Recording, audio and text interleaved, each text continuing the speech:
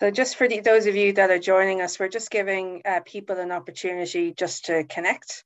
Um, and, uh, uh and I'll start the webinar in about 30 seconds.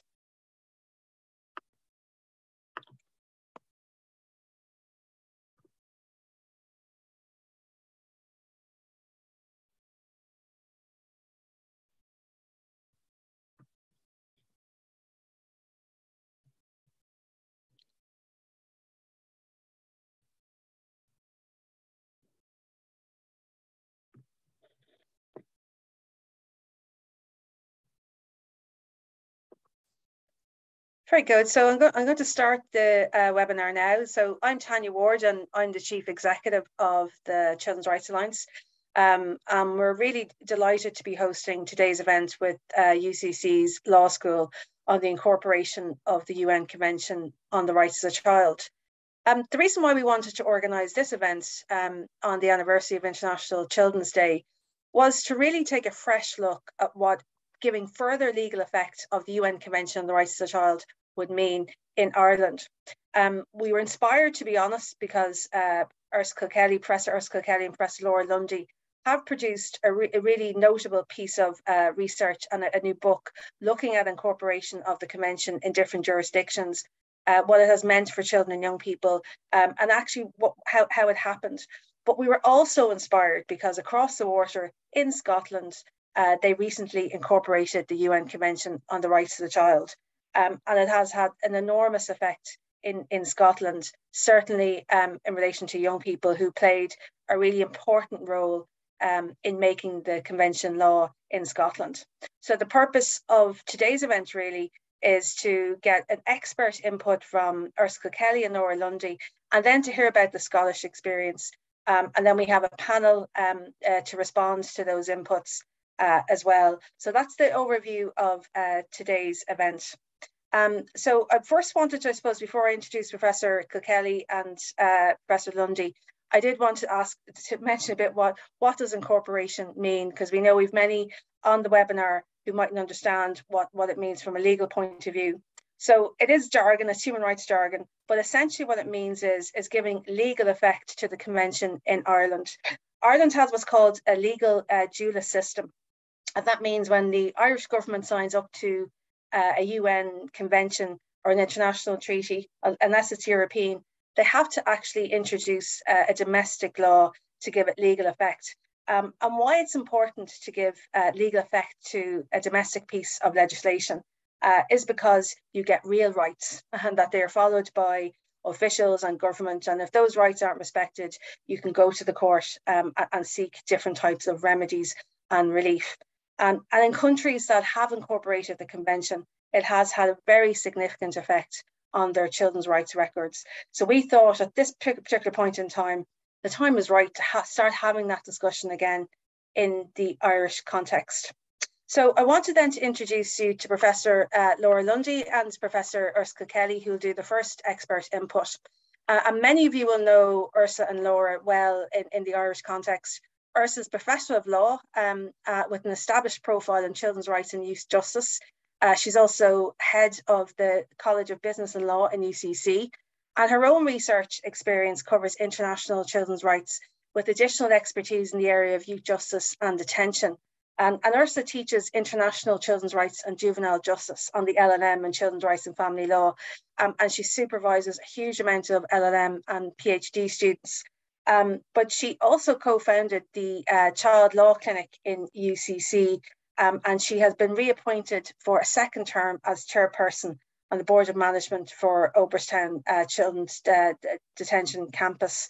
Um, Laura Lundy is, is co-director for the Centre of uh, Children's Rights and Professor of Children's Rights at Queen's University and also Professor of Law at UCC as well. Uh, she's joint editor in chief of the International Journal of Children's Rights and a qualified barrister. And she acts as an expert advisor on child participation to a whole range of stakeholders, including uh, Children's Rights Connect in Geneva, which the Children's Rights Alliance uh, is a member of, but also to the UN Committee on the Rights of the Child, the OSCE, the Council of Europe, um, the European Commission, UNICEF, Terre des Hommes, um, Plan International, and Save the Children.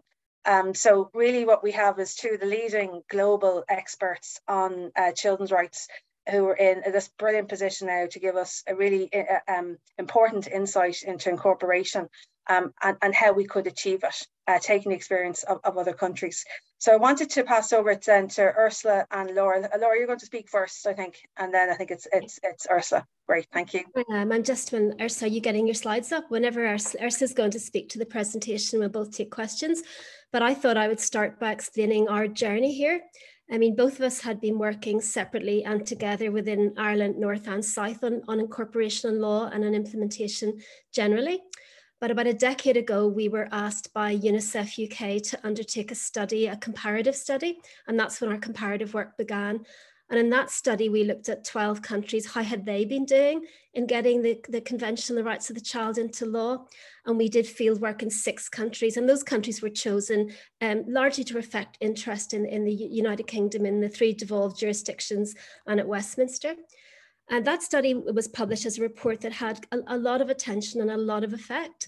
And we can see since that time um, that there has been a lot of progress. But what we said at the time, we came up with a kind of formulation about incorporation, and we said that it could be direct or indirect. Direct is when you take the whole convention into law, law into, law a statute, the way that Tanya said, and indirect can be when it's coming in through legislation. And that is the normally how it happens. It turns up in your domestic law, your education acts, or your social um, welfare legislation.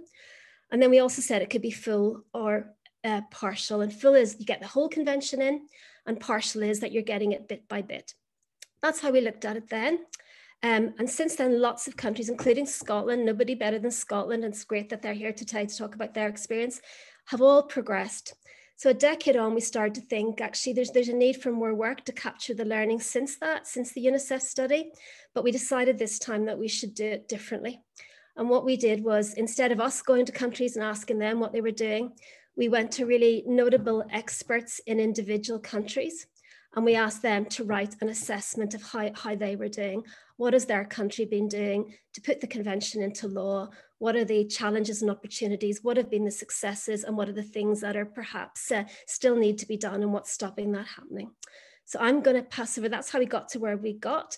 And now we have this new book, which we're very excited about. And Ursula's going to take us through some of our key findings from the book. Thanks, Laura, and, and huge thanks to the, the Children's Rights Alliance and to my own colleagues in, in the School of Law here in, in Cork for today's seminar. It's great to have this opportunity, as Laura said, building on, on the work that we've been doing around the world to try to put some shape on it from an Irish perspective. Um, you'll see the details of the book. It's published by Intersentia, and you'll see the details. There's a, a discount code there as well, which uh, you can take note of if you're interested in um, in in um, purchasing a copy of, of the book.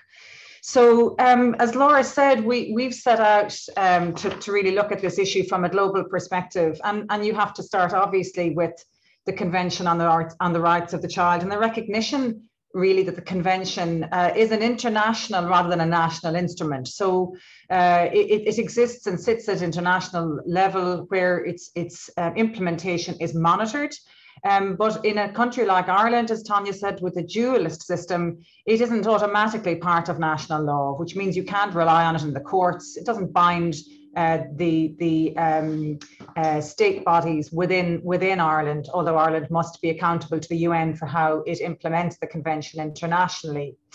Um, the benefits of the convention are many, as you will all, I'm sure, appreciate. A comprehensive uh, and broad and detailed a set of both rights and principles with regard to children uh, and their rights throughout their life and across all areas of their lives. And specifically, Article 4 of the Convention is where we, we focus, and that, that is really an explicit duty on the state to take all appropriate measures, including legislative measures, to implement the rights in the Convention. And uh, separately, there's an explicit duty, quite rare in international law, uh, to raise awareness to ensure that children have an understanding and adults have an understanding about their rights. Um, and the committee has, uh, the body has, has responsibility at international level for monitoring the implementation of the convention. And the committee has, in its uh, general comments, as they're known, set out specific recommendations as to how states should go about implementing and, and these duties. Talking about um, the need for comprehensive legislative review in the light of the convention, um, a recommendation to give the convention legal effect at a national level to ensure its rights can be directly invoked and applied, um, that the general principles, which is Article 3, the best interest principle, uh, Article 2 on non-discrimination, Article 6 on, on the right to life and survival and development, and Article 12 on the right to a say in decision making, um, are given particular expression in national law. And, and critically, I think, you know, to, to some of the concerns around incorporation, because its standards are sometimes seen to be broad, um, and um, the, the, specifically, I think, to recognize the convention as a floor. So it is a minimum standard. States can, of course, and, and must be bound by higher standards where they are set out in national law.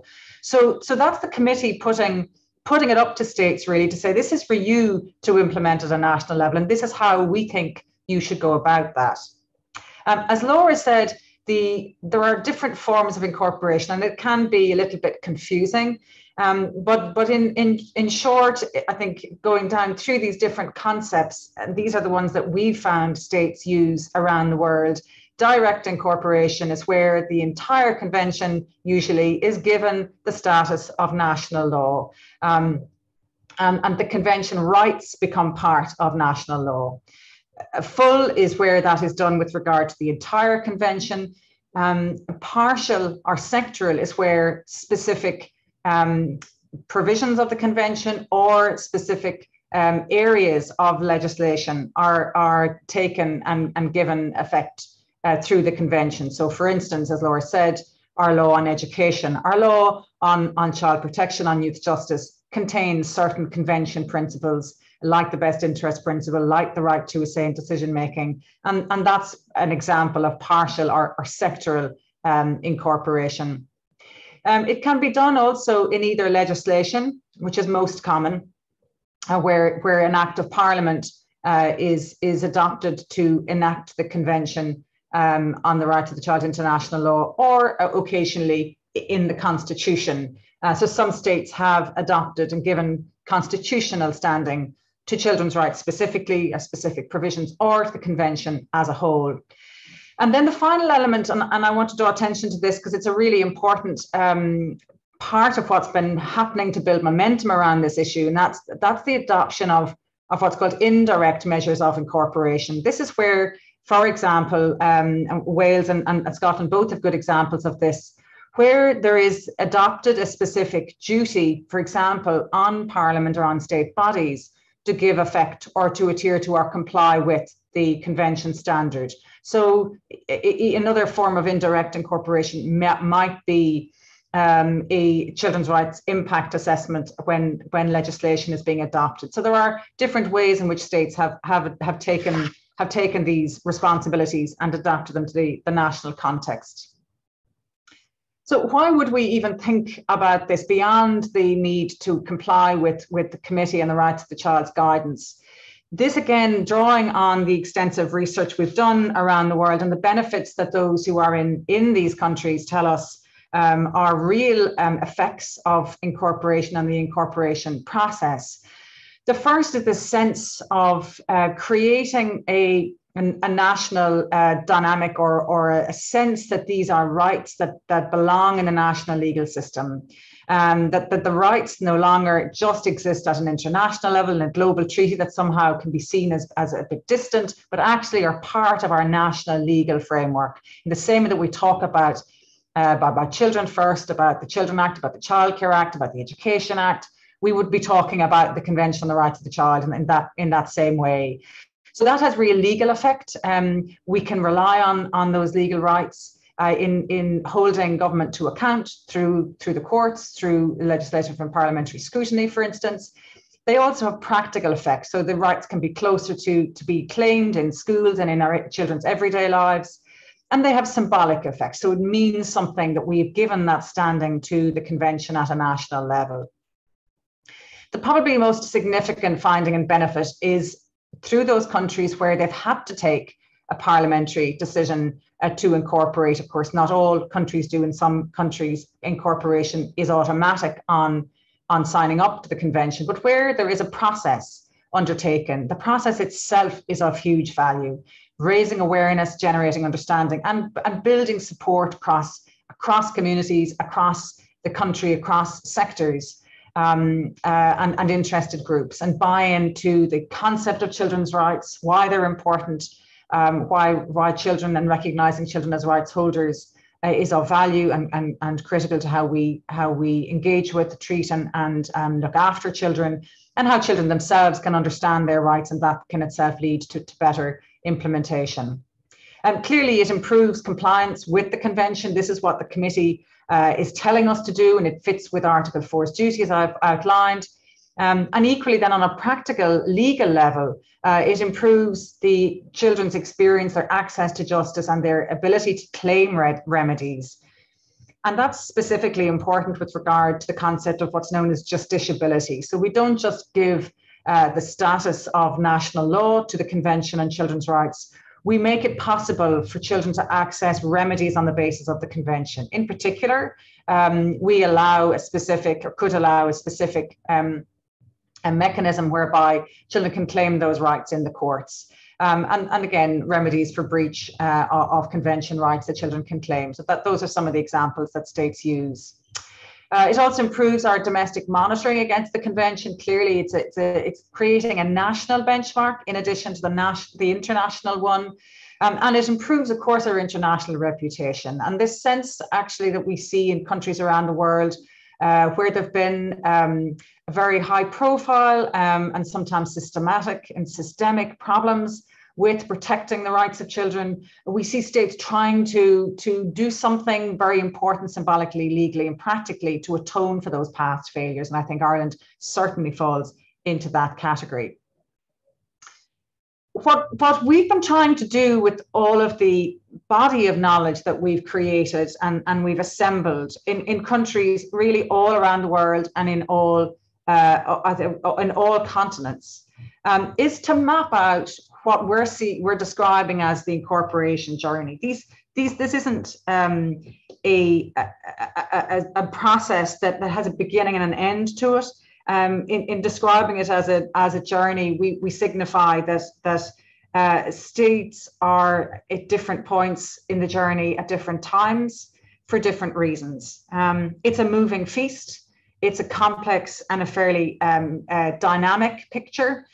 And it isn't a judgment call. Uh, it isn't to say states here are really, really good and states here are really bad, um, because we know within states there are lots of interesting things happening at a local level, at a regional level sometimes. Um, and um, and that's why we, for example, took maybe surprising um, approach of including the United States in the book, even though the United States is the only country in the world not to have formally accepted or ratified at the, the convention. Nonetheless, there are interesting things happening there from a constitutional point of view that, and, and elsewhere in their in their um, city approach to, to children's rights um, compliance that we thought would be interesting to look at. Um, so in short, when, when we look at the, the, the incorporation journey, um, what we just what we do is, is categorize states as falling into these different categories, loosely defined. The first we describe as, as a category journey, stage stage one in the journey, really, where, where states have taken no meaningful or no yet no significant measures. And I say yet because some of these states are on that journey but haven't got there yet. Um, others have stalled in their journey, and, and I think that's an interesting um, point where we where we see political opposition or political um, challenge. Um, and Australia is a really good example of that. They've, obviously, they've they've ratified the convention, taken some measures to incorporate um, specific convention provisions like like best interests of the child, but they haven't moved to um, adopting or accepting the rights basis for for those measures and there's clearly a weak political interest in in taking more further substantive uh, rights action. Um, we, we've we've included China in this category as well because even though again there's there's some movement towards adoption of rights into the, the national legal framework in in China, um, again it is more uh, focused on the child's welfare rather than the rights of the child. Um, the second category then is, one, I suppose, more of, of promise. Um, here we're looking at states that have begun to take action. In particular, they're looking at reviewing their laws, they're reforming those laws, they're adopting a certain uh, legal measures. Um, and, and I think here we include also um, those countries that are taking those indirect measures, like Wales, the example I gave, of, of the due uh, regard measure, which was adopted in Wales a number of years ago, trying to, again to promote a level of parliamentary accountability around, around children's rights. Um, forcing and requiring um, the parliamentary decision makers to, to have regard to the convention when, when passing and acting laws. Um, it's, it's, it's one of promise. We see New Zealand in this category too. New Zealand has uh, taken further steps um, to incorporate specific provisions of the convention into their laws in, in a more robust way than we might say, it, for example, in, in Australia. Um, although again, I think we see a focus on well-being here rather than rights and, and a certain, again, level of, of sort of resistance, I think, to a more fulsome um, and comprehensive rights basis to, uh, to, to the convention in, uh, in New Zealand. Um, in the third category, then we see, I think it's probably the most the most interesting category in a way, countries like South Africa um, and, and Ireland, I would say, where, where we're seeing a level of, of significant engagement with children's rights in one way or another. Um, South Africa has obviously been, you know, we've had had an, had an, enormous um, um, body of, of case law through the Constitutional Court, drawing on their constitutional um, amendment um, or their constitutional provision for children's rights, rather. Um, really interesting to see how life has been breathed into their convention um, uh, responsibilities or duties under their constitution.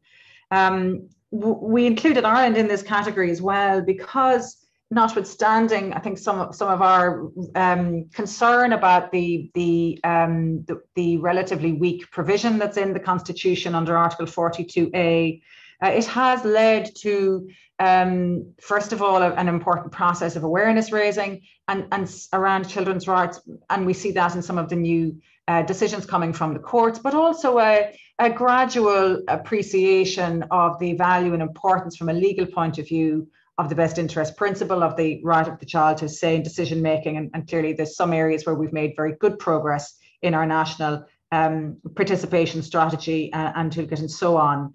Um, so starting to see that, um, and again, the, the reference to the dynamic process, we're starting to see the potential of giving expression to, to children's rights, even where those rights are not articulated in, in comprehensive terms um, uh, and where there is not an, an, an, actual incorporation of those standards.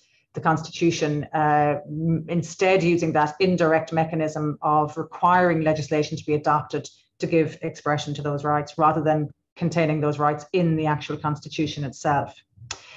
Um, and then the final category that we've, we've um, identified, which is I increasing in size, as Laura has indicated, is really where you have full incorporation of the convention.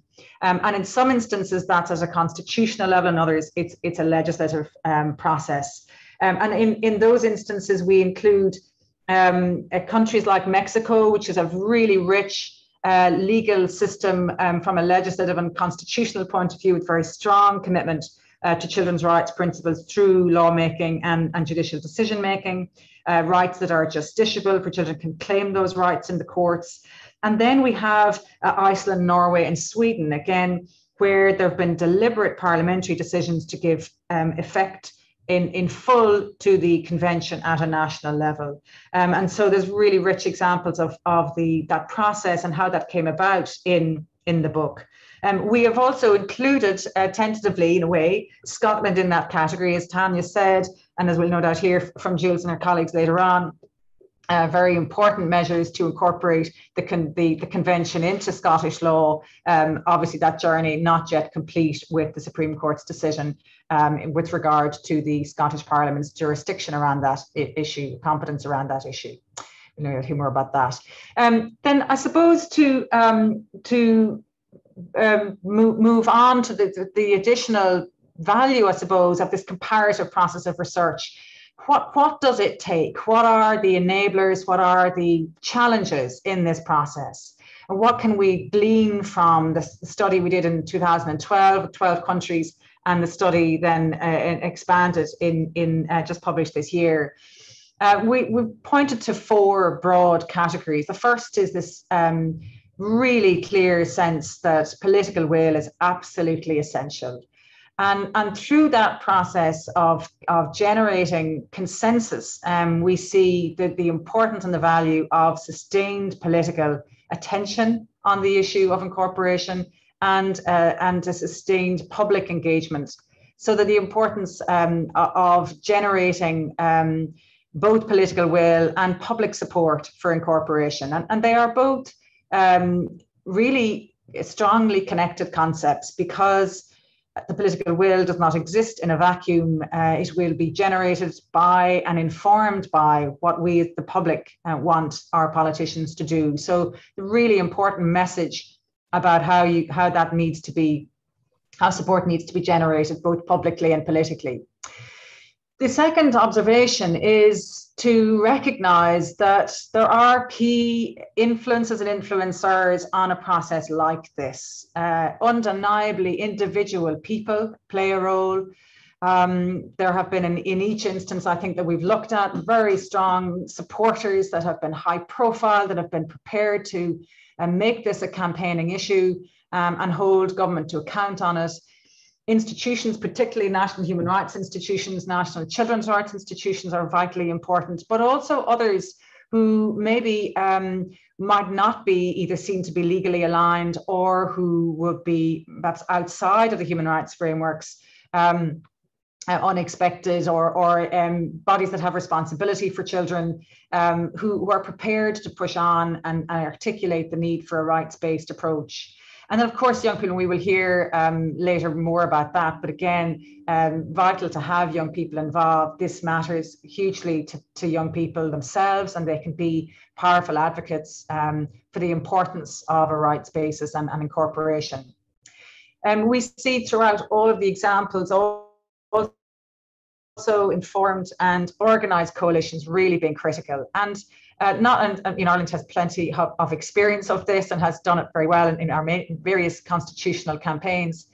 Um, but we'll hear again, no doubt, later about the Scottish example of not not always assuming that everyone uh, who, for example, works with and for children will support incorporation. Um, that there will be bodies, uh, constituencies, and other interests that might have um, reservations or be reluctant about it. So building those the broad-based coalition and consensus is really key and then not to, I suppose, um, be uh, too, um, I suppose, be, to be the importance of being flexible, I suppose, about how incorporation comes about is really important.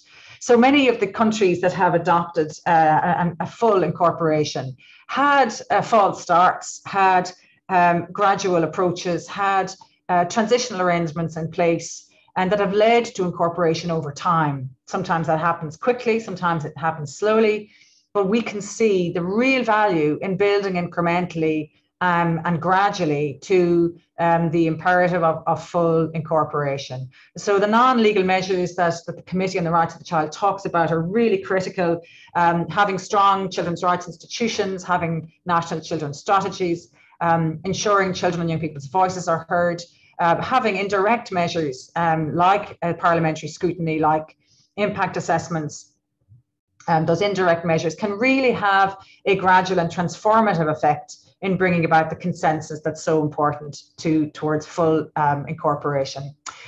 so, just to say you have uh, two minutes. Yeah, two minutes is perfect. Thanks, Tanya. Um, so, so just to conclude and, and, and give us some thought, thoughts to, to reflecting on, um, it's really important to say that every state has done this differently. Every state takes its own path the form and pace differs and, and hugely uh, that that's hugely important to recognize. There is no script for this. Um, the second of course is that we have a hugely valuable experience um, now of our constitutional reform process. We need to interrogate what we can learn from that process and apply it to the the, the, the imperative um, or a campaign around incorporation. What are the pitfalls and opportunities? What can we learn from that process Um, generating strong political and public awareness is key, and it's great to see such an interest in today's event. That is really all part of, of this, this um, uh, the, the importance of this campaign really when it gets going is to have that sense of, of, um, of awareness and, and association with an understanding of, of incorporation. Um, and, and again, a very practical tool, perhaps, um, of, of scoping the, the, the, gaps and barriers to decide what is the right path towards incorporation. In many of the examples we've looked at, there were parliamentary inquiries, parliamentary reviews, um, particularly with opposition parties that came into to power later on. But, but mechanisms like that are really useful to build consensus and to, to achieve um, um, agreement on the right path towards incorporation uh, for a particular country. And we think that Ireland is, is, is ripe for a process like that to move to move the, the conversation forward.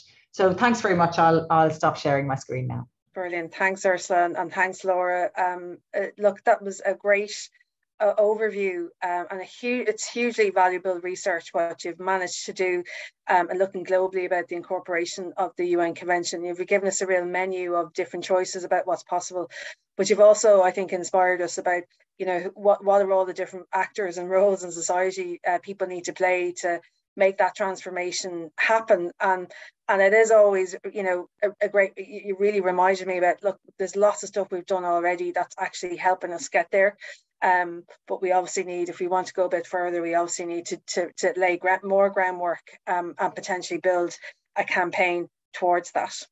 So I wanted to introduce you then, and just to say to people, we, we do have uh, 116 uh, attendees on, on, the event.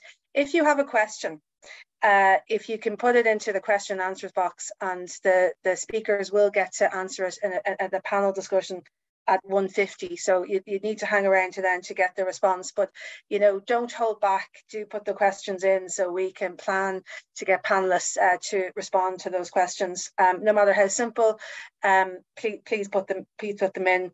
So now we have a chance to hear from uh, the Scottish experience um, and, uh, uh, and Scottish experience is obviously very close to home um, we've got two speakers, um, Juliet Harris, who's director of Together for the Scottish Alliance for, for Children's Rights. Um, she's going to talk about the Scottish experience of incorporation. Um, and just to introduce Juliet, she has worked on uh, children's rights legislation and policy and practice for many years now, uh, the past decade. She's the Vice Chair of the Children's Parliament and a trustee of the Environmental Rights Centre in Scotland. And she's also a former member of the Observatory of Children's Human Rights in Scotland. Um, and she sits on numerous Scottish government advisory uh, groups, including the UNCRC Strategic Implementation Board and the Human Rights Bill Advisory Board as well. And she's a former chair of uh, the Rights of Child UK Coalition and has played an active role in a number of UN task force, including uh, the UN Committee's Day and General Discussion on Children's Rights Defenders. Um, and then we'll also have an input from Josh Kennedy, who is chair of the Scottish Youth Parliament as well, um, and uh, is a member of the Scottish Youth Parliament for Renfrewshire and North. So if you can both turn on your, your, your cameras and we'll hear from uh, Julia first, and then Josh is going to talk to us about the young people's journey to UNC uh, C Corp Corporation with many of the youth representative organisations um, on, on, today's webinar as well. And I know they'll be watching very closely to see what role that they can play um, in the corporation journey. So Juliet.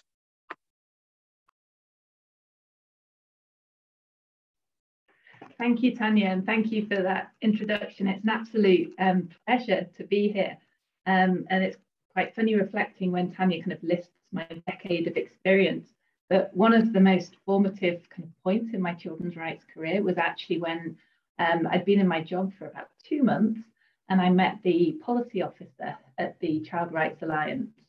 Um, and I looked at the work that you were doing in Ireland and I looked at the strength of the alliance. And I thought, my ambition is to create uh, an alliance in Scotland um, that is as, as impressive and as effective as the alliance in Ireland. Um, so everything that we've done at Together has actually been based and copying on what you've been doing at the Child Rights Alliance in Ireland. So thank you so much for um, guiding us and inspiring us in those early days. Um, so the Scottish Alliance for Children's Rights Together is an alliance like Child Rights Alliance um, Ireland um, with over 470 members and we all share a vision that all children and young people growing up in Scotland should have their human rights respected, protected, and fulfilled. And so our membership really spreads across civil society, obviously, a lot of children's organisations, large ones like UNICEF and Save the Children, and through to small after school clubs, play groups, parenting groups. Um, and really, we, we open up our membership to anybody who shares this vision because we think this is absolutely key to ensuring that children and young people experience their rights in every single aspect of their lives. Um, so really to achieve this, then it has been uh, over a decade of work um, to really push um, for incorporation of the UNCRC into law in Scotland. Um, and I think it's worth starting kind of back in 2012, actually. So when um, Laura and Ursula's study for UNICEF on UNCRC implementation was actually brought together, um, it was commissioned by UNICEF to try and persuade our Parliament um, back in 2012 that the time was right for UNCRC incorporation in Scotland. Um, so at that time, the report was extremely helpful in terms of raising awareness of the impact of incorporation and actually what incorporation what incorporation was.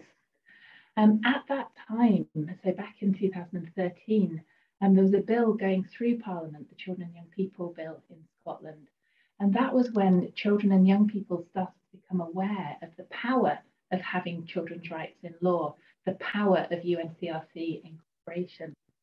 And so I've included some quotes in the slide here because I think it's really interesting to look at some of these quotes from children and young people. And the children who, um, who said this, who said, enforce children's rights instead of letting it be optional. Rights should be part of the culture of life.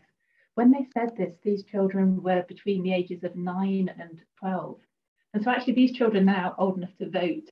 Um, they are kind of active citizens in Scotland um, and have been with us on this journey towards UNCRC incorporation. But I think it was a real mi milestone back in 2003, 13, sorry, when children and young people started talking about the importance of incorporation. And it made people a little bit less scared of it. It meant that people thought if children and young people understand the power of incorporation, then maybe it's not too complex. Maybe it's not a big thing for lawyers to think about. It's not too too legal and it's something that we should get our heads around. We should understand um, more about how incorporation can promote a culture change in Scotland. Um, so really, 2013, 2014 um, is when incorporation really came onto the agenda in Scotland.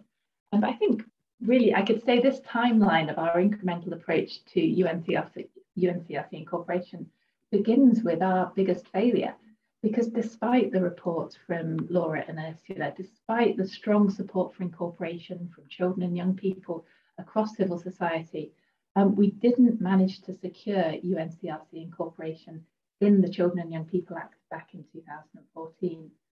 Um, there were strong views at the time expressed by ministers that children don't belong in the courts, um, that um, if children's rights become too legal, if they're enforceable, then it will become about lawyers rather than about children and young people. And there really wasn't a strong view among um, parliamentarians or government officials at that point that incorporation would achieve the change that we wanted to see in Scotland. Whilst we failed to bring in UNCRC incorporation through the 2014 Act, it did for the very first time um, bring the UNCRC onto statute in Scotland. So it included requirements for Scottish ministers to think about children's rights. It included requirements on public bodies to report about children's rights. So it meant that children's rights in the UNCRC did begin to come onto the kind of policy agenda um, and the political agenda far more as a result of the 2014 Act. And so it's been a really slow um, kind of journey since then to, to, get children's rights actually reflected, to get the general measures of implementation reflected in policy. Um, but this has involved things like a public body reporting duty, which was introduced in 2017. And this meant that public bodies across Scotland had to start reporting on what they were doing to further children's rights. Since 2018, we've had an annual action plan um, from the Scottish um, Government that they present to the Scottish Parliament that sets out what they're going to do to further children and young people's rights. Um, the public bodies um, were supposed to publish their first reports in 2019, um, 2020, but that was delayed because of um, the um, COVID crisis. Um, but it has meant that public bodies have started to embed children and young people's rights into their decision making. Um, all of this, all of these general measures of implementation, all of these policy steps have meant that people have been talking about children and young people's rights and thinking about children's rights in policy. And I think that has been what has built the momentum up to the point where uh, UNCRC incorporation bill was unanimously passed by the Scottish Parliament um, earlier this year. Um, importantly, that, that's the kind of policy steps, that's what's been happening at government. Actually, it, it's all about children and young people's journey. And this, I know Josh will tell you more about in terms of the role of the Scottish Youth Parliament. Um, but like I said, children and young people in Scotland have been calling for their rights to be made binding in law since at least 2013. The Scottish Youth Parliament has played such a formative role in kind of raising awareness of UNCRC incorporation through their manifesto commitment, through their Right Here, Right Now campaign, through their meetings with the Children's Parliament, actually with the Cabinet in Scotland, with the First Minister and the Deputy First Minister. And so I really can honestly say that without children and young people really pushing for UNCRC incorporation and taking such a leading role, I don't think it would have happened in Scotland. Importantly, it's about building up a really wide, um, wide coalition of support. Um, it's gone beyond just Together members, it's gone beyond children and young people, and we've had to do a lot of work in Scotland. Firstly, after um, the 2014 Act, to try to persuade political parties of the importance of UNCRC incorporation. Um, so we were successful in getting the UN a commitment towards UNCRC incorporation into many of the opposition parties' manifestos, um, which really helped us when we were trying to support the bill through Parliament. It meant once we had government support for UNCRC incorporation, we knew that there would be really strong parliamentary um, support for UNCRC incorporation. We couldn't have done it without the support of international experts. And again, the support that Ursula and Laura have offered us in terms of supporting the drafting of a bill on UNCRC incorporation that provided an example bill that we put to the Deputy First Minister of how it's happened. That has been absolutely key. The support of academics across Scotland, of research, of showing the impact of incorporation, of how it links to other policy and development. Again, that has been absolutely key. Um, and of course, the support of human rights institutions um, the Children and Young People's Commissioner and his staff have played such a leading role in pushing for incorporation, in making the case for incorporation, and indeed working in partnership with Together um, to establish our expert advisory group that did draft uh, an example bill of what incorporation could look like in Scotland. Um, so we got to this point in 2021 where the bill was in Parliament um, and children and young people continue to play such a leading role in supporting the passage of the bill through the Scottish Parliament. So I've included some um, quotes here from children and young people in the evidence they gave to parliamentarians as to why rights should be made binding in law. And I've accompanied this with a picture, which is actually from a series of seminars that we held back in 2017. Um, and I think this picture is absolutely key to why incorporation is important. Because when we spoke to children and young people in 2017, they told us that they knew that they had rights. Um, they were taught what their rights were, but they didn't experience them in their everyday lives. They wanted their rights to be brought into reach. And they thought that if their rights were binding rather than just guiding, this would be a way of bringing their rights into reach.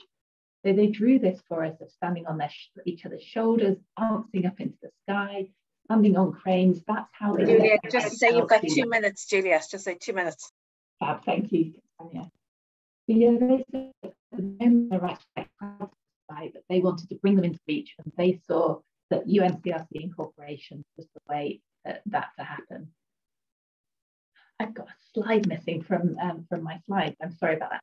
So I wanted to just take you through a few details of what's actually in the UNCRC incorporation bill. Um, in our bill, then it takes a carrot and stick approach and so it's not just about making sure children and young people have remedy and redress if their rights are breached, but the UNCRC incorporation bill also includes the carrot. And so this includes things like more reporting from Parliament about involving children and young people in decision making to try to make sure that every step possible is made to ensure that children's rights aren't breached in the first place. Um, and I'll make sure that in the slides that get circulated after this event, I include that slide so you can see the different aspects of the UNCRC incorporation bill and how it does everything possible to prevent breaches of children's rights, provides them with remedy and redress if their rights are breached. Um, so to finish off, I've just got a few resources again that will get um, circulated to you after this event that um, you can look at in terms of um, some of the work we're doing to make children's rights real in Scotland. And I'm really looking forward to answering questions and discussions later on. So thank you. Brilliant. Thank, thanks so much, Juliet. Um, and I know it'll be uh, colleagues will be delighted to hear that one one meeting helped inspire the formation of uh, an alliance in in, in Scotland.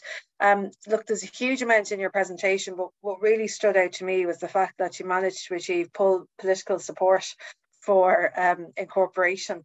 Um, and that's you know the question I'd love to ask with Ireland. Could we could we achieve that um, as well? There might be one or two members that we mightn't be able to bring along with us, and I'm sure people listening will work out who that would be.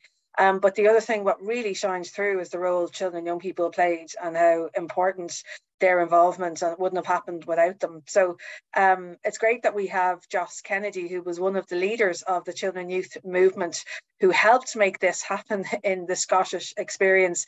And I know Josh, there's many youth leaders on the call. There's lots of young people as well listening in, and they'll be really listening to what you have to say today um, and taking lots of notes. And no doubt you'll hear from them after today's event um, when they start to put their ideas together for how we can actually promote the UN Convention on the Rights of the Child. So thanks so much for uh, joining us here today on, on the panel. Thank you. Sorry, thank you very much for inviting me along. Um, as you say, my name's Josh. Uh, I'm the chair of the Scottish Youth Parliament and I am a member of the Scottish Youth Parliament for Renfrewshire North and West, uh, just outside of Glasgow on the west coast. Um, I've been lucky enough to lead the organisation for the last 12 months, but I have been involved now uh, for the last four and a half years. Uh, so when I was 15, um, so I was quite young, uh, right in chipper. Um, I um, started my journey as an MSYP actually on the year that SYP um, more so got involved with our campaign, which Jules briefly spoke about, and I'll be discussing a bit later on today, right here, right now. Um, and I'm really excited to share some of my own personal experiences uh, as part of it. Uh, next slide, please. So before I start, I would like to just give a brief overview of what the Scottish Parliament is for those who don't know. Um, the Scottish Youth Parliament is the democratically elected voice of Scotland's young people.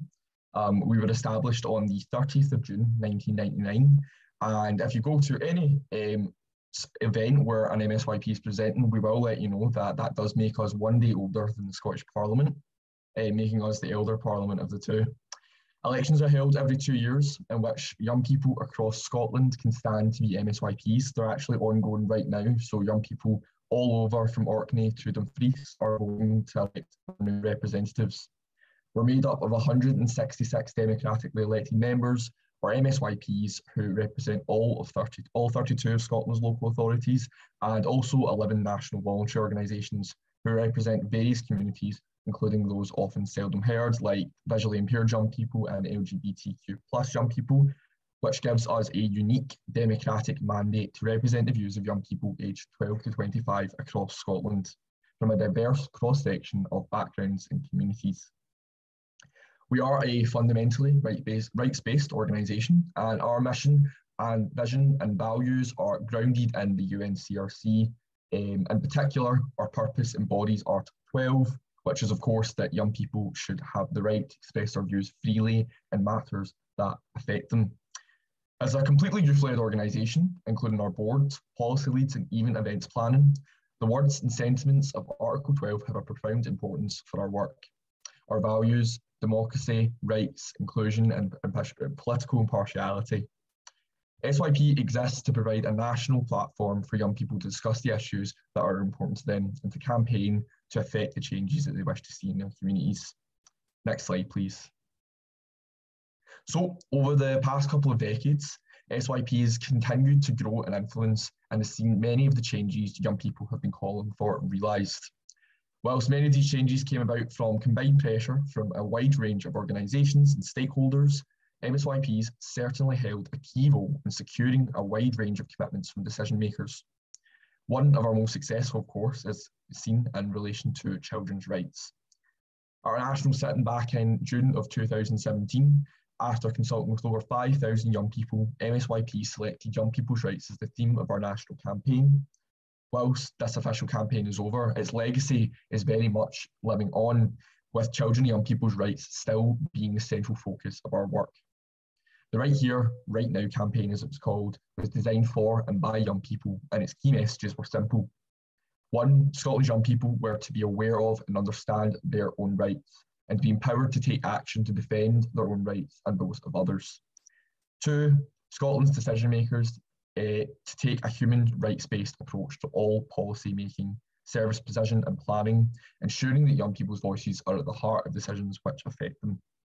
The campaign did have many great successes, which is obvious by the incorporation which will be soon coming into place, but we couldn't have done it without the invaluable input from our partner organisations um, especially together. Um, and Jules, who is at the helm of that, have been invaluable throughout the whole process.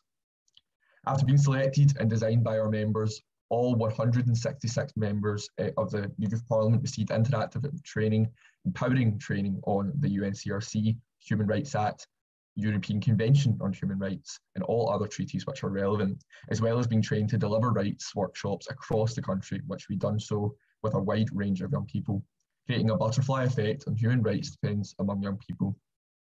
The campaign held calls for the UNCRC to be incorporated into Scots law at its heart, and I'll cover that in full shortly. But we saw many wider successes along the way, too many to tell you about in the time we have today, but here are a few highlights. We helped convince the Scottish Government to produce a Children and Young People's Rights National Action Plan, ensuring young people's views were at the heart of it our rights road trip with Together and the Minister for Child, Care and Early Years. Uh, we also, to prevent breaches of young people's rights in Scotland, we helped secure uh, support for new laws ensuring universal access to free period products and equal protection, so tackling period poverty. Um, also, MSYPs took action across Rights Week in 2018 by carrying out several activities locally to raise awareness of rights, as well as who SYP and MSYPs are amongst constituents. Our campaign, Thunderclap, Clap, um, achieved a social reach of nearly 1 million people talking about the incorporation and UNCRC rights. It was a very busy period for us all, uh, as I could say the least. Uh, next slide, please. But at the heart of all this sat, of course, incorporation of the convention. We knew that young people wanted to see this change happen with over 75% of those aged 12 to 25 we consulted for our 2016 to 21 manifesto agreeing that uh, the UNCRC should be fully incorporated into Scots law and the rights of children and young people should be protected and promoted. Of course, this gave us a strong basis and a strong mandate to call for this on behalf of Scotland's young people. The fact that we knew young people across the country supported this added to our credibility and to our boldness in our calls. Uh, next slide, please. So after speaking to the experts in the children's rights sector and deciding to make a rights-based approach to decision-making central to our focus, it became clear to us how important legislative protection of children's rights was. Without it, children and young people would continue to have no guarantee that their rights would be protected or have a route to recourse when these breaches occurred. The call for incorporation became central to our campaign in all honesty, as we, we planned it right and planned out right here, right now, or even created our manifesto, we thought that it may be too ambitious to ask to, to see this be realised um, and the end of a parliamentary term. But we are so grateful now, a couple of years along the line, to be standing here to be proven very much wrong. So, how did MSYPs and SYP help to bring about the passing of UNCRC, the UNCRC Incorporation Bill? Well, it started off with training upskilling and capacity building with our membership to ensure that they could advocate effectively on a complex issue that they all believed in. From there, we hit the ground running with advocacy efforts, working with decision makers to get behind this change. We create a crib sheet um, MSYPs use to educate and advocate with MSY, MSPs and local decision makers across the country. We asked them to take a pledge to help protect children's rights, which included many committing to ensuring that the UNCRC was incorporated.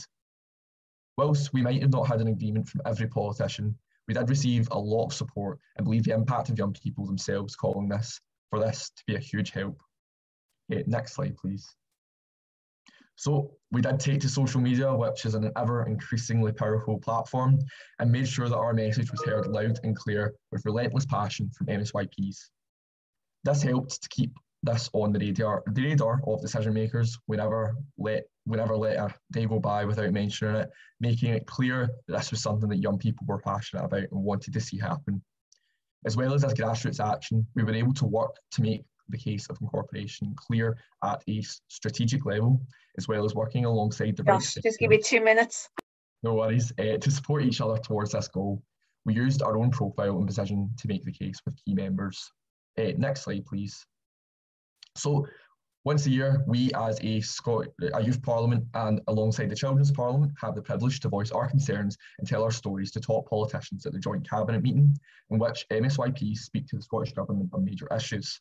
Since 2017, we've succeeded in ensuring that the meeting continues year on year, which is a huge step forward for organisations and others alike.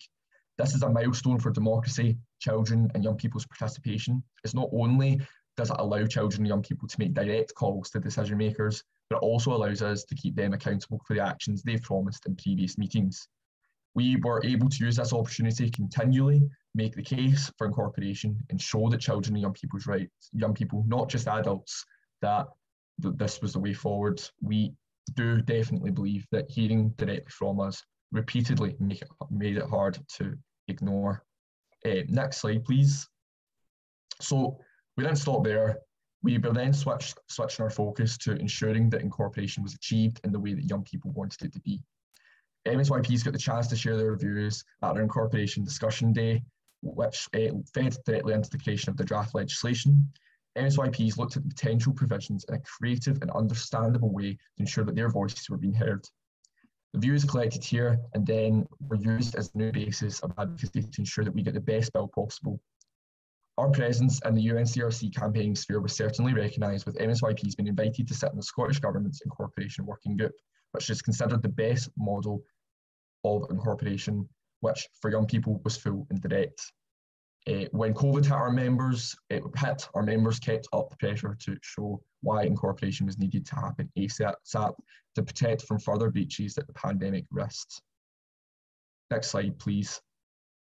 So just to finish off um, before, I just wanted to share about my personal experience, and I know I've not got a lot of time, so I think really the crux, um, which I've sort of touched on already is that empowering young people and educating young people cannot be overstated it cannot be overlooked. Young people can't defend their rights, they can't preach about their rights if they're not empowered to use them. So the key takeaway, if you take away anything from what I've been saying, get young people involved. Co-design is so important, but make sure that young people are actively involved, they're meaningfully engaged, and it's not just a tick box exercise. That's the way we get incorporation done. Uh, next slide. So to sum up just very quickly, this is a key and watershed moment for children and young people's rights in Scotland um, and hopefully and increasingly in other countries across the world. We can't wait for our rights to be binding and not guiding without delay, which conveniently links to our campaign name right here, right now. Of course, there's a lot of work to be done and we're continuing to do that and holding the government to account throughout this process, making sure that incorporation and rights respecting doesn't stop here. So we do hope that the experience of MSYPs has been helpful as you continue your own journey towards incorporation. If you would like to support us in our campaigning efforts, please follow us on Twitter at official SYP and check out our website or the hashtag hashtag SYP rights. Uh, thank you very much. I'm sorry if I went over a bit. You're okay, Josh. Thank, thanks so much, Josh. And just before you go, I might give you, I just have a follow-up question because I know you can't stay uh, very long, but just thanks so much for that for that presentation. I mean, it's amazing actually what you've managed to achieve. Uh, you've been so incredibly uh, impactful, um, and and not just only around the incorporation, but you know the fact that you got a rights national action plan, the fact that you got some key universal projects, as you say, uh, delivered as well. There was two questions I wanted to ask you before before you head off, and one. Um, what was your experience, you know, when you met those Scottish politicians? What were they like when they met you? um, and when you were advocating before them? And is there any learning for people that might be listening in um, and thinking about doing this themselves? And the other thing I wanted to ask you, did did young people go out and do, take part in kind of the radio interviews and stuff like that that might be happening around the time?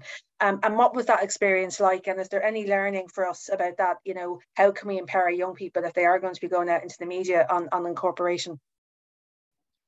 Just to address the first one, so I've met with a lot, a lot of decision makers um, from across Scotland's political parties um, on incorporation. Um, I think in the early days, what we tended to find was that the action wasn't really backing up the rhetoric. Um, the decision makers were saying one thing and then they were dragging their feet. So I think it was really important that um, obviously organisations like Children's Parliament, SYP together were really pushing. I, I mean, we brought it up whenever we could, um, flooding the airway waves with it. Um, I think it did take a little bit of time, but we were continually making the case for it. We just consult more. Um, I think that sort of segues into your, your second question. Um, SYP has been really good um, on supporting young people getting into media opportunities. I've been lucky enough to do a few, especially around incorporation, um, which has been really key actually having young people there talking about what it means um, as long as they're empowered to do so and educated on what they're actually talking about, not just flung, flung in there, is really important because it did raise the profile of the issue, and I think it definitely did get it more into a public discourse in Scotland, yeah. which has been obviously really beneficial. Yeah, yeah. People wanted to hear from you. They wanted to hear what you thought. Yeah. Yeah, great. Okay, Lucky, thanks so much for that. It was it was really invaluable to have your input here today. And thanks so much for sharing that email address if people want to make contact with SYP and to get more direction and support. Um, and we'll just to say to everyone who's attending, we will send on the PowerPoint. So if you want to do any follow-up work, that's no problem. So thanks so much, Josh, for taking part thank today. You for having me. Thank, thank you. So we just have our final then question and answer session and just I, I just wanted to introduce, um, we have a few people that are going to join the panel. So you heard already from Ursula and Laura um, uh, and you heard from the Scottish experience about how our independent human rights institutions are really critical uh, in, in, in the incorporation journey. Um, and we're delighted to have Dr. Niall Muldoon, who is our Ombudsman for Children, uh, taking part with us today and he'll be able to respond to some questions. Niall was appointed Ombudsman for, in February 2015 by uh, Michael D. Higgins and he was reappointed uh, this year in 2021 for a further six years. Um, uh, and it's a great opportunity to congratulate Niall on, on his second um, period of appointment. Um, I also want to introduce Lara Hines, who's the Principal Officer with the Department of Children, um, Equality, Disability and Integration and Youth and Lara is working on children's rights policy in the department, and she's special responsibility for leading Ireland's response under the UN Convention on the Rights of the Child and the ratification of the Section Optional Protocol and reform of the guardian ad litem system and reform uh, and review of the childcare Act, um, etc. So quite a lot on her plate, but we have definitely the best person on the panel to uh, take part with us today. And I also want to introduce my colleague, Saoirse Brady, who's the Head of Legal Policy and Public Affairs with the Children's Rights Alliance since 2016. And Saoirse has a really broad background working within the human rights sector, has worked in the, the UN, worked for Frontline Defenders, worked with FLAC and the Human Rights and Equality Commission, the Human Rights and Equality Commission, and with ourselves here in the Children's Rights Alliance. So we have a great panel um, of, of, speakers. Um, so I tell you, my first question, and then we obviously have we've uh, Ursula and, and Laura um, and Juliet at the panel as well. So my first question, uh, actually, I wanted to go to you, um, Laura, if that that's okay. Um, yeah. Uh, because you're leading the, the government response in this area. You have a lot on your plate, but I would be interested to get just an insight in terms of what is happening, I suppose. And there was a key recommendation to Ireland by from the UN Committee on the Rights of the Child in 2016 that we should incorporate the, the convention in Ireland. And I just wanted to hear, just from the Irish government's point of view, what, what work has been done to bring us along on that journey? Thanks, uh, Tanya, and thanks for this very informative session. I must say, I found the presentations really fascinating. And I thought it was very interesting, I suppose, the point Professor Kilkelly was making about the fact that this is kind of a journey to, to get to, I suppose, uh, incorporation or to kind of achieve things along the way. Um, and I suppose we have certain achievements to to stand over at this stage in Ireland, but you know a way to go. I suppose in the context of the specific issue that's been raised by the committee, um, we have asked the Special Rapporteur on Child Protection, Professor Conor O'Mahony, to assess what a comprehensive audit of Irish legislation for compliance with the UNCRC would look like uh, and what would it require. Um, and he's currently working on that and, and he's hoping to finish that by the end of the year. But he's he's examining the scope of the exercise and potential methodological approaches, including issues such as whether to approach it from a thematic way, according to thematic areas, how to potentially score existing systems to measure the extent of compliance already. Um, and I suppose we're looking at, and so that's only one step really. He's only assessing what would be involved in doing the comprehensive audit. The next step would be figuring out how can we get that piece of work done across government. So we will be considering that in the context of the formulation of the successor strategy to better outcomes, uh, brighter futures, uh, the next national children's strategy, you know, and that'll have to involve you know a number of different government departments and it's a big piece of work but i suppose at, we've taken the first step uh, yeah. to, to commence that work very good and so and, and, and you say that the next better outcomes for the future is this is a great opportunity for us to lay the groundwork for this so that's really important for us as a sector to be to be thinking about okay with that can i make one more point yeah. tanya sorry just um yeah. also i suppose again i was interested to hear professor kilkelly's remarks about you know there's different ways of kind of coming at this we are, you know, and she mentioned child rights impact assessment. So that's something we would hope to be considering, giving further consideration to next year uh, as well. That, that, that, can I ask you then a follow-up question, Lara, just on, as you mentioned, child rights impact assessments, because just in the question answers box, there is a question from Marie Therese uh, um, and she said it's a naive question, uh, but is there currently any legal requirement for uh, the Irish government to consider children's rights when making decisions at times of crisis. So um, that might be a, a, question for Professor Kilkelly. I'm not a lawyer, I have to say, yeah. but I don't think so. I suppose yeah. would be the yeah. answer. And I suppose if, if we had those child rights impact assessments, perhaps that would be the tool. Uh, it, you, you know, so it's great to hear that there's actually work actually starting to take place to look at how those mechanisms actually work in, in practice. Can I maybe go to Ursula, a follow-up question to Ursula and to uh, Laura, really, uh, just I suppose on those child rights impact assessments, you did allude to, allude to them um, in your in your presentation, and I know they are being promoted by the human rights institutions within Europe as something that we should be looking to. Um, what role do you think they can play in, in uh, domestically in different countries, particularly in times of emergency? And I know there's been some good examples around COVID uh, in, in this area. No, I'll let you take that. Okay, got thanks. Well, I know. Well, I know that you, you you can't stay very long, so you might want to make some yeah, remarks. Yeah, I've got another launch in not twenty minutes. Um, they do play an incredible role, and it, and if there's a legal requirement to have them, then there's a legal requirement to do them, and that that's really crucial from our perspective. But even if there isn't a legal requirement to do them, we know that they can play a role because what they do particularly in COVID, given the question, is they would have put the gaze of government on the child. And the gaze of government was not on the child in many countries. We know that. And if it had been, there would have been different policy and other responses to COVID. So I think they could play a really important role. But to answer the specific question, there isn't a domestic legal requirement in Ireland at the minute for them to say we have to do this but there is an international legal obligation, you know, and Ireland will be held to account in, in that, you know, they're going to have to go in front of the committee. The committee is going to ask everybody now, you know, um, what did you do in COVID and what did you do in terms of making sure children's rights were fulfilled? So there is a legal requirement, but not in our domestic law. Yeah, okay. Th thanks, thanks for that. Uh, Laura. So I tell you, I'm going to go to one of the technical questions that came in the question and answers box um, and it's from uh, Nuala Mole, uh, who's listening in. And she says, How can Ireland reconcile the acceptance of the right to individual petition under the UNCRC of the, uh, the Optional Protocol 3 and the non-incorporation of the convention um, into, into domestic law. And she says, we in the AIRE Centre are currently interveners before the committee in the first case from Ireland to be taken under the optional protocol. I know in the Children's Rights Alliance we campaigned heavily to get that optional protocol uh, ratified. Um, uh, and I, I, don't know if uh, Ursula or Laura, if you wanted to um, re respond to that question.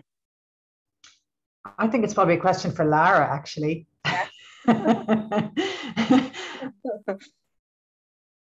um, I suppose the answer would be we don't see a conflict there, but I'm, I'm actually I'm I'm involved with this case. In fact, I'm and I'm I I'm aware, I suppose, of the particular circumstances of this case. So it's but, but I suppose the I suppose the, the position would be we wouldn't necessarily see a conflict, I suppose. Yeah. I, I think, you know, I think to to to um to be fair, I think the government is to be commended for ratification of, of the third optional protocol. We we stand out internationally in that respect. And I think where the perhaps tension is, is that we it's not we you know we, we without incorporation um, actually government doesn't have an opportunity to squarely address the complaint a child might raise under optional protocol 3 properly within the national legal system because we haven't incorporated so it you know in some respects it actually would push the bar. It might put push the bar up for children.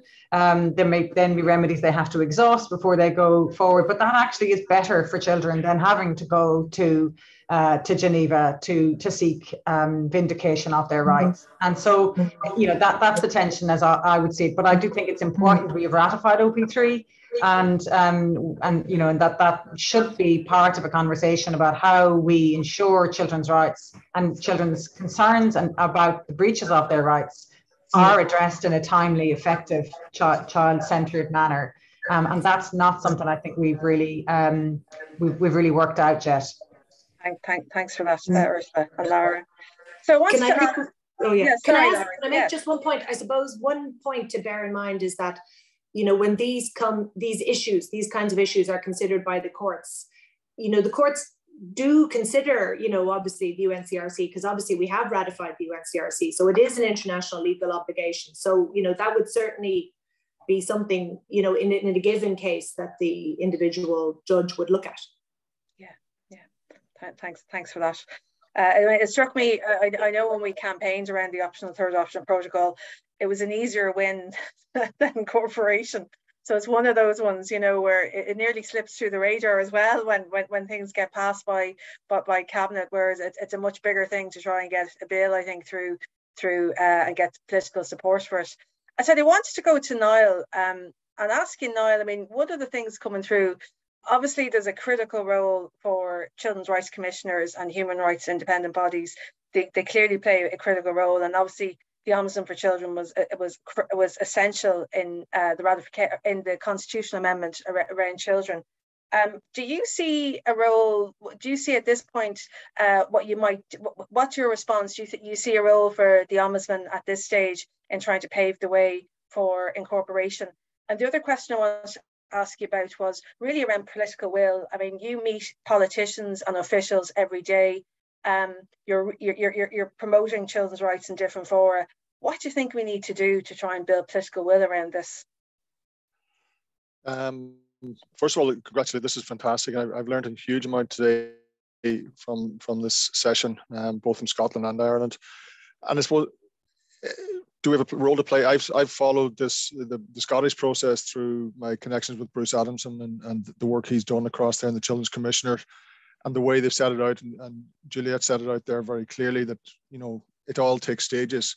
But probably the last four years have been real momentum in Scotland and the way it's done, and the, and the human rights uh, institutions were very important there. And I think from our point of view, we won't be found wanting if we start to move in that direction towards incorporation.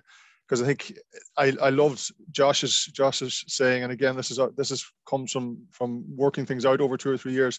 Rights become binding, not guiding that's the key for us. I mean, that's what we need to get to is a stage where there's no doubt that children's rights are a key to the way we live our lives.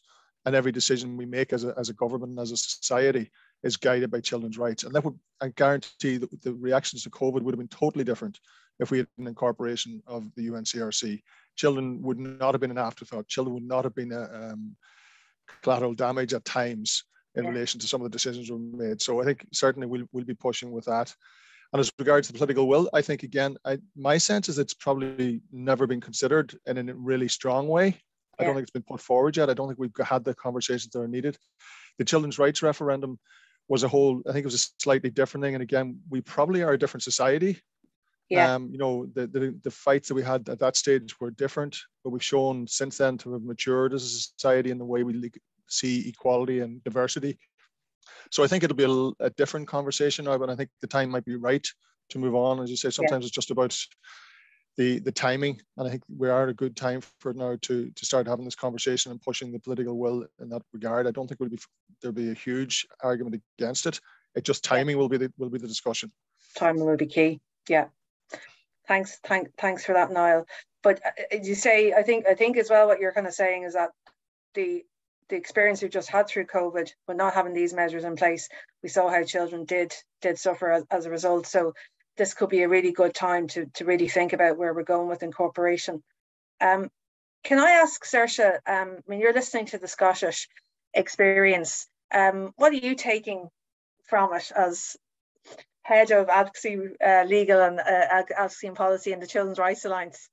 Are you asking if I've written my project plan? yeah, I nearly am. I'm like, I nearly am. because I think we could from this session alone. I think it's been, um, I think really what came across to me is just that building of coalition, um, yeah. building of common voices, that piece around advocacy with political parties. And I think Jules' point around, you know, um, making sure that all the opposition parties had it in their manifestos first yeah. and then had the commitment from the Scottish government so that when it did get to Parliament for debate, there was no opposition to it or very little. So I think that that was um, crucial. But then listening to Josh, obviously, um, and knowing uh, the role that both the Children's Parliament and the Scottish Youth Parliament played um, in Scotland, I think that's key. You know, I think that's so important to you know to to build this this campaign. And i think the other thing i'm taking away is it is a slow burner. It's not going to happen overnight and we know that. Um and you know we've some experience of it from the constitutional referendum the amendment.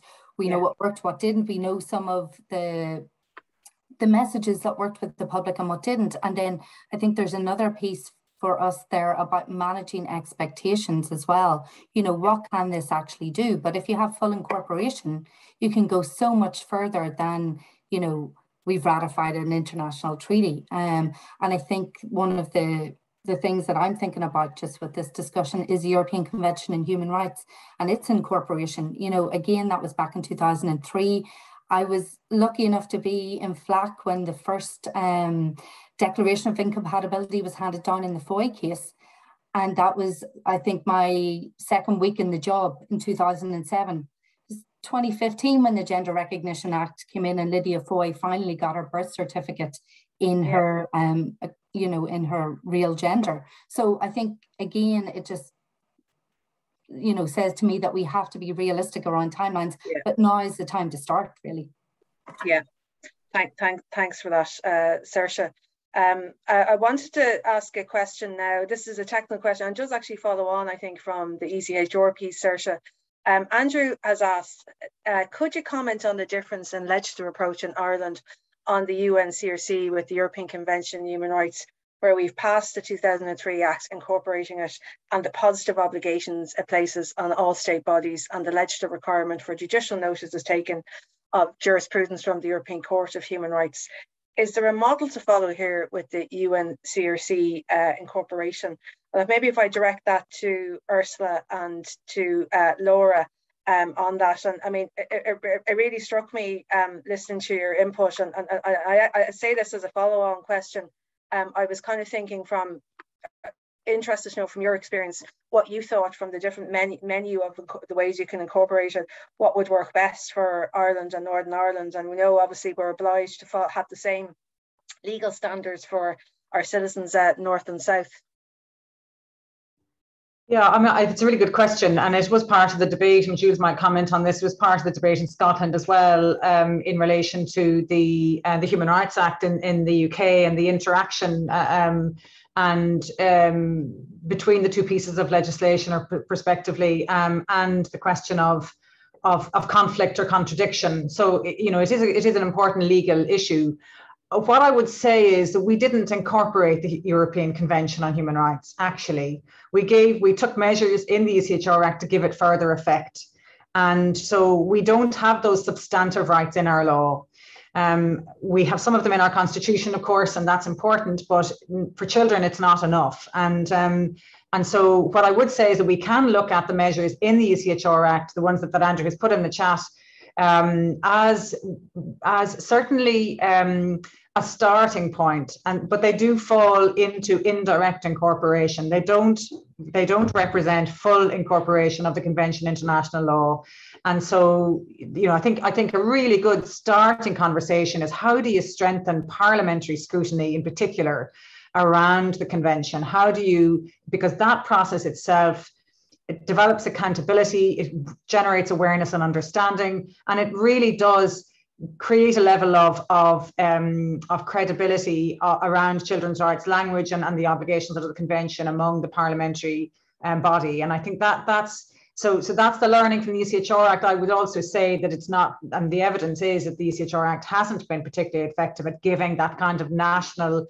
not giving national sort of status, I don't mean legally, I mean in general, the sort of view and understanding and, and appreciation of the ECHR has not really come as part of that, that um, uh, the 2003 Act, while it has had the positive effects that, that some of which uh, Saoirse has alluded to. So that, that's my sort of take. I think it's related also to the powers that Niall's office have around yeah. parliamentary uh, review and, and how, how that, that can be, I think, uh, in addition to, to reviewing legislation as, as, as the office does, how we can move that on to the next stage of really, really embedding much more robust scrutiny of legislation into, into the legislative process from a children's rights perspective. Yeah. Uh, th th th thanks for that, Ursa. Um, I, am actually going to use my liberty as chair uh, to ask my own question, and this is would be a typical CEO question. Um, I, I, just want to suppose to ask from the Scottish experience and to ask Juliet, how much did it cost? how much did the campaign cost? How much did it cost to work with young people? How much resources do you have to raise if you want to make this happen? Wow, that's a, a question I've not I've not been asked before. Um, and I think it's very difficult to actually put an exact cost onto it um, because of the number of stakeholders involved. Um, I'd say some key key points along the way, um, we held a series of seminars in 2017 with Scottish University's Insight Institute. Um, these were four seminars. We invited Laura and um, Ursula to, to move the debate from if Scotland can incorporate to how Scotland can incorporate. And it was quite a challenge across four seminars to do this. Um, but those seminars themselves um, cost about £16,000. Um, but they, I, I do think that they played a massive role in the hearts and minds side of, um, of the campaign. And it was indeed a, um, I think, last of those seminars, the Minister for Children and Young People said no to an action plan. Um, it's like, it doesn't matter what it's called, no to an action plan. But the children and young people that we involved in those seminars carried on campaigning um, through the Scottish Youth Parliament, kept demanding an action plan, so that actually nine months later the answer was yes.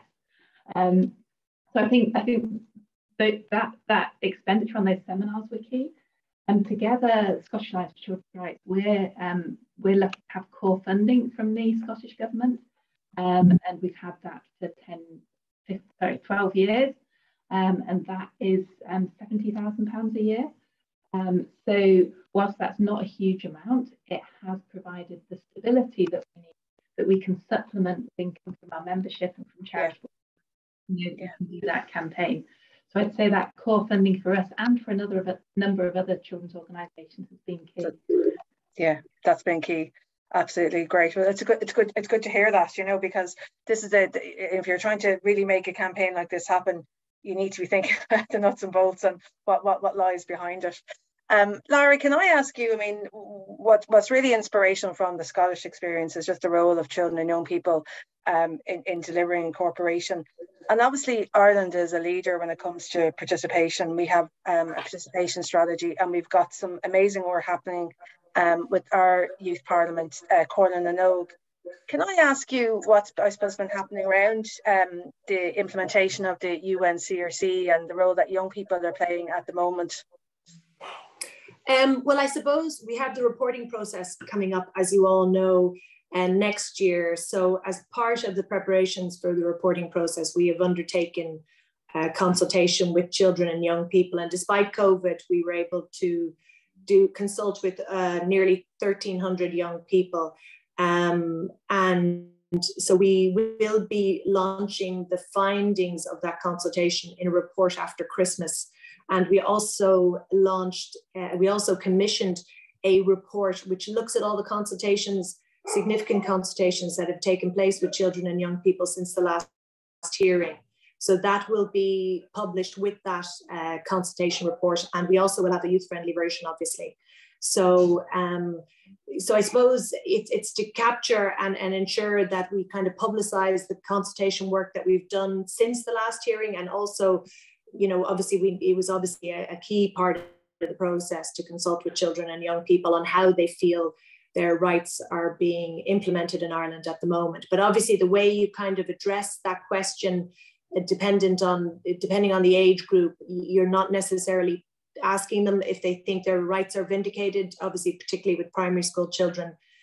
And given obviously the breadth and comprehensiveness of the UNCRC, we were asking uh, children and young people, you know, sort of more general questions, I suppose, about how how their their life in Ireland, um, you know, what they like, what they don't like, you know, what needs to change.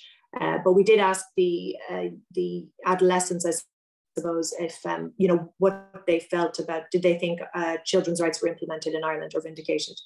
So that that will all be in the report, and we'll have a big launch. The minister will launch that Brilliant. after Christmas. So that's going to be critical, obviously. that's going to be the yeah. one, really, isn't it? what yeah. do young people think? Um, what do young people think? Yeah, yeah, yeah. It'll be yeah. called "What Kids Think." All the what, reports. What, that will be the tagline. Okay, okay, great. Okay, thanks for that. Um, now, can I put the, a, a question from a participant, and this is coming from uh, Don O'Leary, um, and he says, surely the prerequisite for implementation of laws, particularly in relation to justice, is that the infrastructure should be in place. So he's talking about child-friendly courtrooms, solicitors, judges with specialist training outside of Dublin. Um, and we don't really have a children's court uh, where young young people can really participate and where their privacy is protected. And how best can we pursue making child-friendly courtrooms a right in Ireland rather than it being based um, on on geography? Okay, well, um, first of all, let me say congratulations to Dr. Don O'Leary. I think that's yeah. a, um, long overdue, well deserved. Um, the question, I mean, listen, we are again, we are so far behind on that one. Um, the number of children and families that have gone through court systems.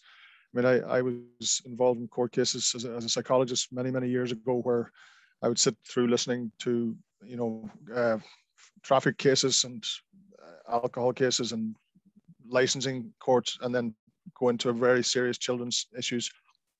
It can't be allowed to go on much longer. I know that there's work going on from the Department of Justice, but I think the incorporate this is one of the reasons the incorporation would make a huge difference in that. It would really put in a momentum behind that and make it um, impossible to do anything other than create a proper family court that is child centered. And I think what, one of the things we've been pushing all the time is it's it's it's a service for the children.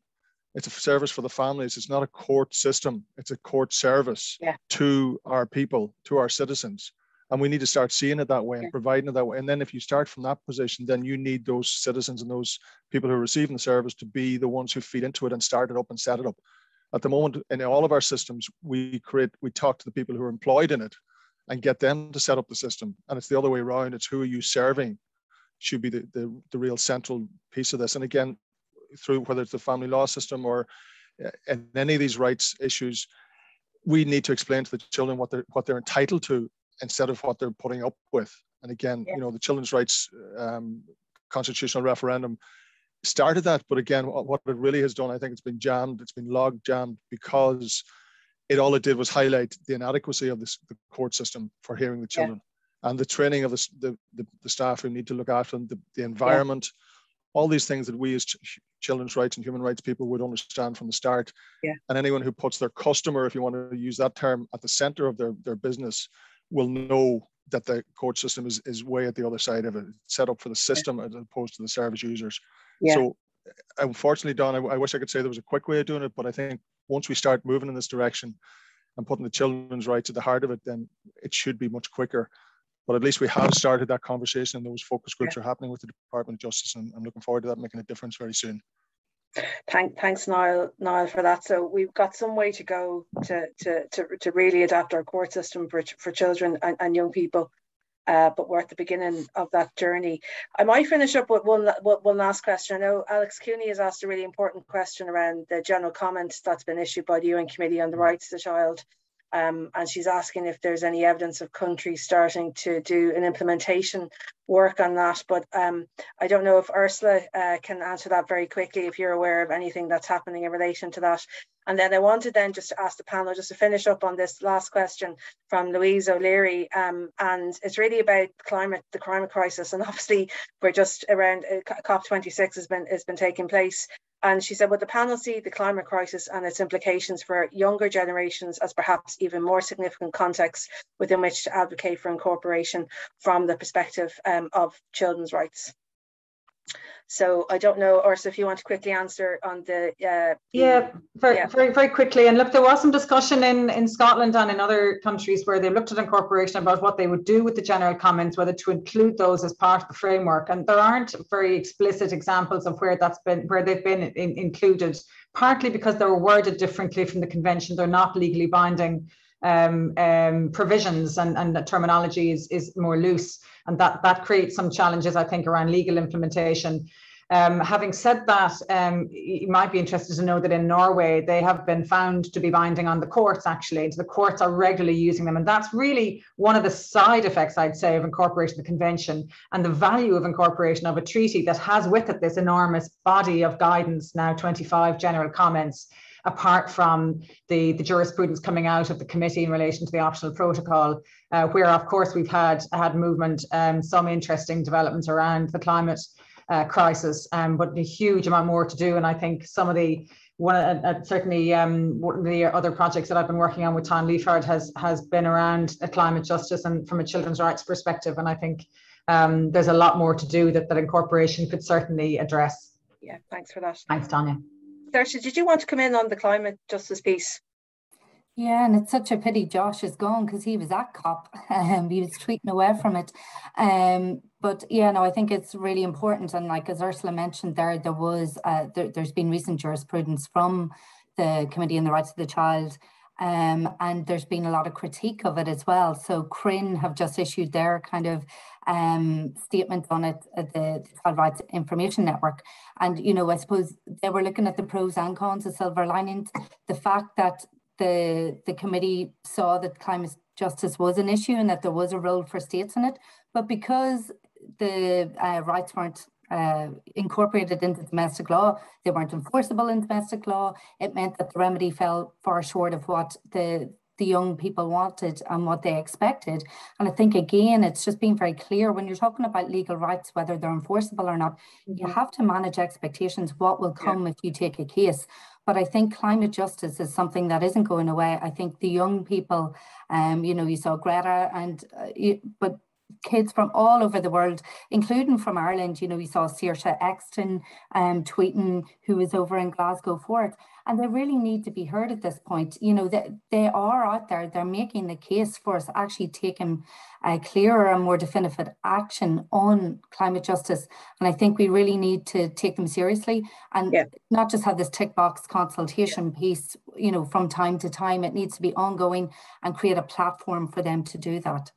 Thanks for that. Juliet, did you want to come in there because you were hosting COP26? Yeah, and I think, I mean, again, the work of the Children's Parliament. I mean, I mean Scotland, obviously, to people who are listening in. yeah, yeah, me personally. Um, yeah, the work of the Children's Parliament, the Scottish Youth Parliament, of really linking children's rights to climate justice, I think has been, been absolutely key. Um, and think it really does stresses, um, as you've said, the importance of linking rights being binding um, for seeing actual um, actual tangible change in terms of government response to um, the climate crisis. And I would say because children and young people have been so active and so involved around incorporation and around so many other elements of life, they really were listened to I think, and taken seriously in Scotland. And I think that demonstrates what Ursula and um, Laura's report shows that you do just talking about incorporation, just the discussions around children's rights helps to ensure that children are recognised as right holders who should be able to influence the world, world around them and should be able to have impact. And I think we did we did see that in in Scotland.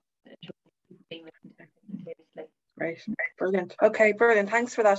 Look, I'm going to finish there because we're slightly we're slightly over. Um, I just want to say a big thank you to colleagues in the Children's Rights Alliance, to Saoirse and Emma, and to Stephen for helping with organising today's event, and to UCC Law School. Um, it's been such a timely event that we, we are, and I'm really delighted we organised it at this point in time. It's the right context to have a discussion about incorporation. Um, we've just seen very significant developments happen in relation to COVID-19 and, and, and, as the Ombudsman has said, very serious impacts on children and, and young people. Um, I really want to thank Ursula and Laura for their amazing work and research that they've done. Um, I, I, think they've given us a great tool as advocates, you know, a real menu, a real understanding of what's possible if we incorporate and how it's going to change children young people's lives. But it's brilliant to, to, to have real data and research looking at the ways it can happen and the different roles that we all need to play um, in society as well. A big thank you to Juliet and Josh it's brilliant to hear the roadmap from Scotland and it's it's so it's so easy it's so across the water you know it happens. You know it's very inspirational to all of us who are, who are activists in, the, in this area and you, you, you really have given us the work plan um, uh, to, to, to get moving on it. And a big thank you uh, to Niall and to Saoirse and to uh, Lara for really reflecting on um, the different points today. I, I, I think what we're feeling is there's there's actually real sense of a need to really give further legal effect to the UN Convention on the Rights of the Child. You can see that the, the government is already starting that work. It's putting the, the basic steps in place to, to make it happen. Um, and there's lots of different ways we can all play a role in, in incorporation. So um, I think what we're saying today is there's going to be a campaign. I think hopefully there's going to be a lot of actors um, and, and, and I think what we're saying is the next programme for government is going to be really critical uh, seeing the incorporation of the UN Convention on the Rights of the Child happen. So thank you everyone for uh, taking part in today's event. Uh, and just to say, we will send on the presentations and contact details if you want to get some um, more information and data. Um, and it's great that uh, Ursula and Laura has given us um, a discount for anyone who wants to buy the book as well. So we'll send on that to people as well, so you can you can follow up and get that book. So thanks everyone, and have a good week. Thanks, Tanya. Bye. Thank you. Thanks, everyone. Bye. Thank you, everyone. Bye.